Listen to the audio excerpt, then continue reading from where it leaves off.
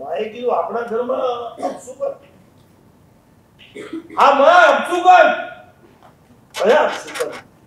મન તો કઈ દેખાતું નથી. અને ત્યારે આ છોકરાએ કીધું.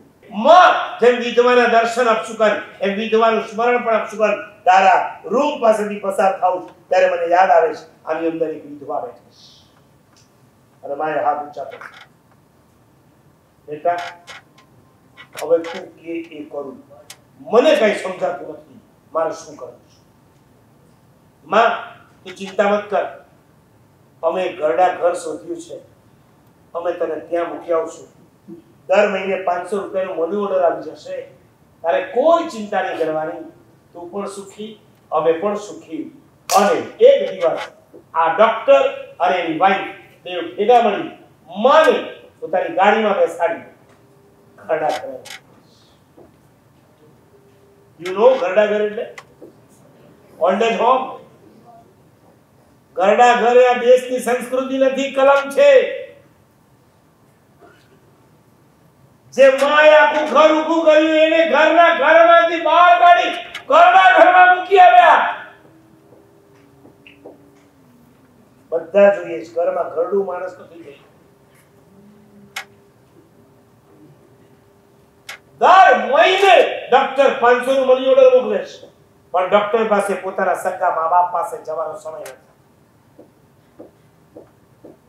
અને આટલું હોવા છતાં પણ માં હંમેશા પોતાના દીકરાને યાદ કરતી હોય. કોઈ પૂછે તમારી કોઈ ઈચ્છા, બસ એકવાર મારા દીકરાને જોઈ લો. અને એમ કરતા કરતા કરતા કરતા 30 મહિના પસાર ત્રીસ મહિનામાં એક દિવસ ડોક્ટરને પોતાની મા પાસે જવાનો સમય નથી. અહીં બેઠેલા અમેરિકા જનારા, કેનેડા જનારાને મારે પૂછવું છે. બે વર્ષ કે અઢી વર્ષ કે ત્રણ વર્ષ માટે માસ્ટર કરવા માટે જનારાઓ આજે તમે તમારા મા બાપને મૂકીને જાઓ છો. અમને જતી વખતે તો એમ કહીને જાઓ છો કે અમે પાછા જલ્દીથી આવશું. ત્યાં ગયા પછી જ્યારે તમને સેલરી લાખોમાં ને કરોડોમાં દેખાય છે ને, પછી જલ્દીથી આવવાનું મન નથી થતું. તમારા મા બાપ જો તમને કેવડાવે, ત્યારે તમે તમારા મા બાપને એમ કહો છો હવે અમે નહીં આવીએ. પપ્પા, મમ્મી, એક કામ કરો. તમે ત્યાં તમને ખબર?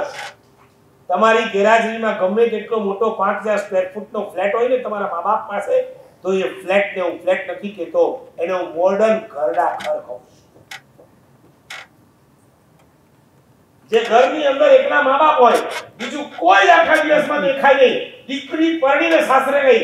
દીકરો પરદે જતો રહ્યો છે. હવે ઘરને ઘર કહેવાય કે મોડર્ન ઘરડા ઘર કહેવાય. એ કરતા તો પેલું ઘરડા ઘર સારું કે 30 35 જણા સરખે સરખા એકબીજાને મળી તો શકે ખરા. અહીંયા તમારા મા બાપ તમારી યાદમાં યાદમાં પોતાની જિંદગી પસાર કરી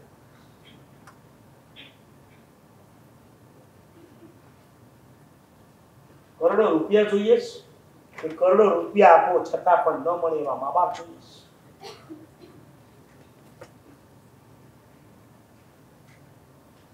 સેલરીની નાકચૂડમાં ફસાવા કરતા એને લાત મારીને પાછા આવો તો હું માનું કે તમને તમારા મા બાપ ભગવાન જેવા લાગે.